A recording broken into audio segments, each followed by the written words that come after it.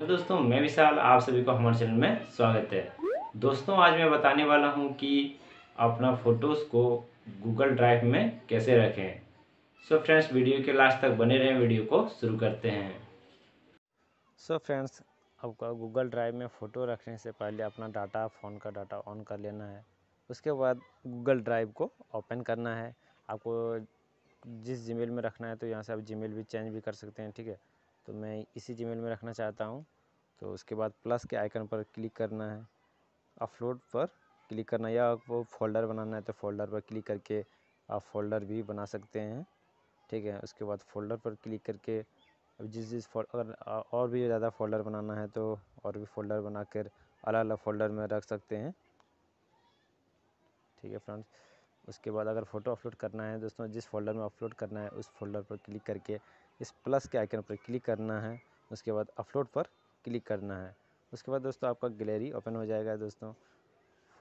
उसके बाद जो भी फ़ोटो आपको यहाँ से रखना है तो वो फ़ोटो आप यहाँ से सिलेक्ट कर लेना है आपको, फ्रेंड्स।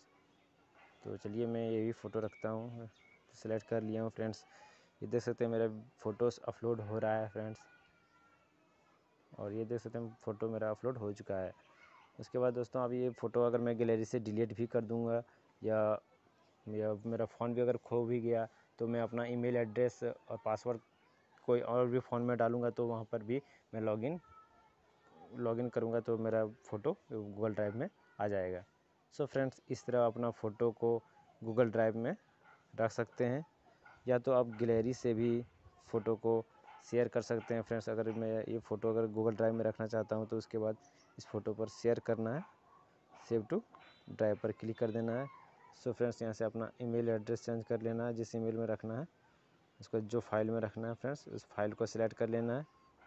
उसके बाद सिलेक्ट पर क्लिक करके सेव कर देना है। सो so फ्रेंड्स, ये मेरा फ़ोटोज़ गूगल ड्राइव में सेव हो चुका है। सो so फ्रेंड्स, देख सकते हैं, ये भी फ़ोटो अभी मैं अपलोड किया।